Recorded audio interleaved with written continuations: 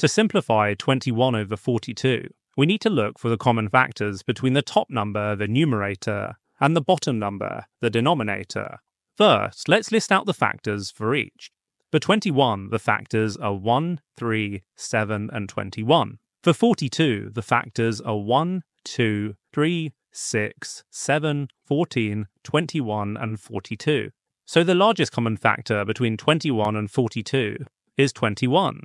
This means we can divide both the numerator and denominator by 21 to simplify the fraction.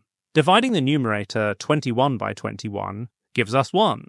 Dividing the denominator 42 by 21 gives us 2, since 42 divided by 21 is 2. So after dividing, the simplified fraction is 1 over 2. And we know that 1 over 2 is in its simplest form, because the only common factor between 1 and 2 is 1.